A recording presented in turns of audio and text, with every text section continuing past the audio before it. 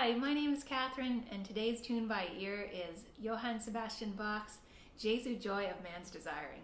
And the tune was inspired by my friend here.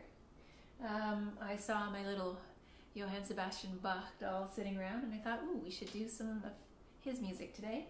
So I made a little arrangement that we can do. And um, it's in the key of C major, and it actually starts on the G string on the fourth finger once if we're in first position. So I'm going to play it for you now, and then we can talk about a few things that'll help make it easier to learn. All right, maybe I'll take my earring out. Here we go.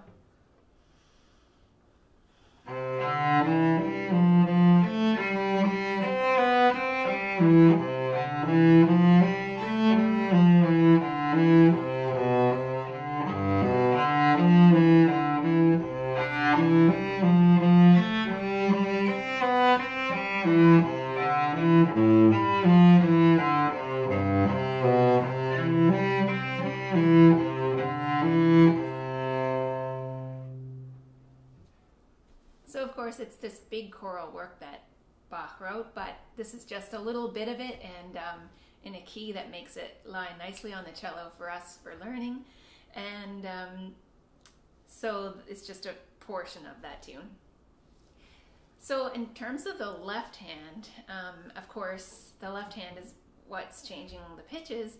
And um, it, I think it's a nice tune to learn by ear because it has a lot of um, stepping around just like like you would do in a scale. So notes um, going alphabetically or um, on the scale one after the other, and then um, you can hear that ascending and descending, and then um, here and there you can hear an arpeggio. Um, so stepping around a major uh, C major chord in this case, and I'll show you that now. Um, so just at the beginning, we hear, sorry about that, we hear, so we hear the C, D, E. So already that's just the beginning of a scale. And then um, there's another little bit in there where you hear, so that's all of a, that's a scale right there as well.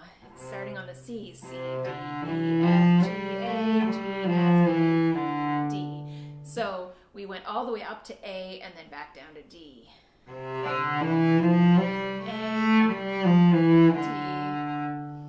So there you can just, um, if your fingers know the pattern of a C major scale, which of course means that you're going to use your second finger on the upper strings, on the D string and the A string. So all you have to do is, um, once you have that figured out, of course you're going to use one and four, and it, that means you're going to leave out the, the third finger. Um, after that, you just have to know start on C, go up to A, and then once you get to A, come back down to D. So um, there's that happens quite a bit in even smaller chunks. I'd say that's probably the longest um, portion of scalar movement in the tune, but um, you can find that elsewhere as well. And then um, you can look for little patterns, like um, off the top, we have the little scale bit. But then after that, it goes up a third from E to G, and then down a step. And then up a third from F to A, and then down a step. And then it doesn't go up a third this time, it actually goes up a fourth so we can get to the tonic, to the C. But it does step down to the B. So there's a pattern happening there. Third step down,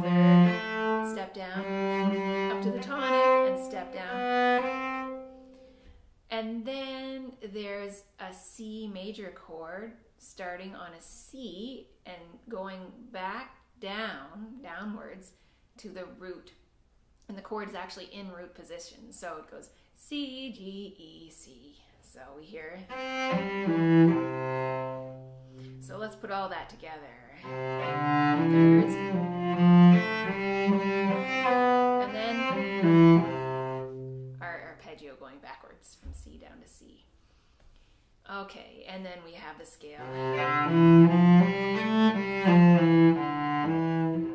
Another scale. And here's a G major. Little G major triad. Oh, and with the um, with the seventh in it. So it's our dominant seventh in, in the key of C. And then it steps down and it starts again. So um, rather than thinking about this tune being um, a whole bunch of notes, one after the other, and trying to remember each one, this way we can think, um, we can group the notes into um, ideas that encompass a whole bunch at once, and then we can think, we have less to think about. So, um, yeah, so uh, probably at this point, um, that was already a lot of information. You can go back and just revisit those elements that happen in the music so that you can um, think of them um, so you can group those notes into larger patterns that are happening and then you will have to think about less happening overall in the music. Um, okay so that's the left hand. And then in terms of the right hand i th- think this is a nice opportunity to practice um, slurring three notes to a bow so um, I think about this tune being in in nines, nine eight times. So um, one, two, three, four, five, six, seven, eight, nine. So sort of in larger beats, you've got one, two, three, and each are divided into three little parts. Um, but at the very beginning, we don't actually hear, there's a silence on the first eighth note. So one, two, three, four, five, six, seven, eight, nine, like so. So um, I'm going to put three notes into every bow, um, except for at the very beginning. Um, it's one, two, three. So I just get to play those, the second and third in the first bow, and it's going to be an up bow. Um, and then at the very end, I change bows just so that I can end on a down bow. Um, yeah, I do. Uh,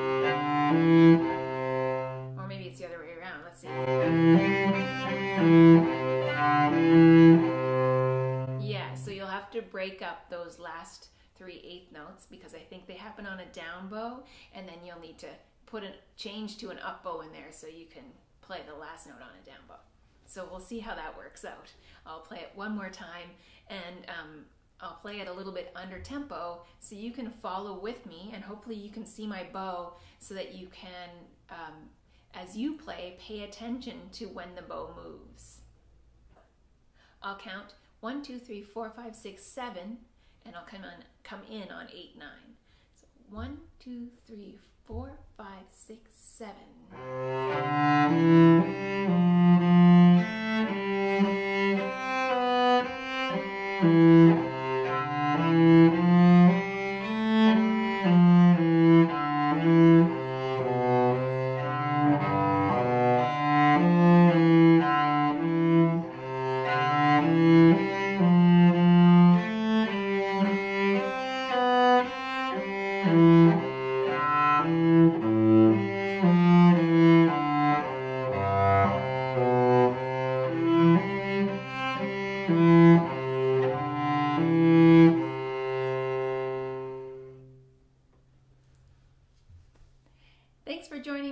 Tune, and I look forward to doing the next one together.